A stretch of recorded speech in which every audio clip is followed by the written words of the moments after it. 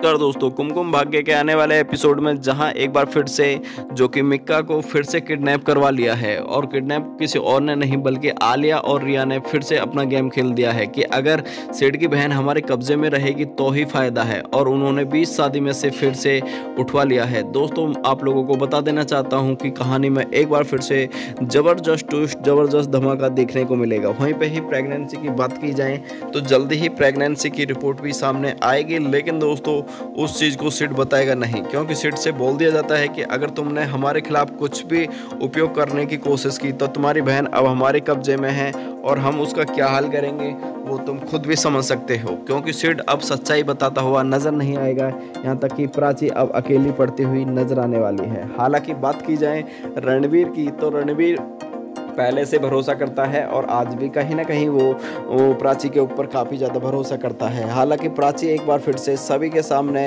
Expose करेगी रिया और आलिया को, क्योंकि रिया और आलिया को एक्सपोज करना बहुत ज़रूरी है। उन्हें लग रहा है कि हाँ सिड की बहन को किडनैप करेंगे तो ये लोग सच्चाई नहीं बोलेंगे। लेकिन दोस्तों, सच्चाई ज़्यादा समय तक छुपने वालों में से नहीं है, क्योंकि इस समय पूरी तरीका से प्लानिंग बना चुकी है प्राची एक्सपोज करने के लिए। क्योंकि प्राची जानती है कि इन लोगों का एक्सपोज होना कितना ज़रूरी है इस घर के लिए, क्योंकि नहीं तो रिया और आलिया लगातार अलग अलग चाल चलती हुई नज़र आ रही हैं। आप लोग जानते हैं कि किस तरीका से रिया का भांडाफोड़ होने जा रहा है कि वो किसी के भी बच्चे की माँ नहीं बन रही, बल्कि वो अपना झूठा अफवाह फैला रही रही है इस घर में सभी को जो कि गुमराह कर रही है। और गुमराह करने के मामले में रिया और आलिया दोनों एक्सपर्ट हैं, क्योंकि दोनों का क्रिमिनल माइंड है दोस्तों।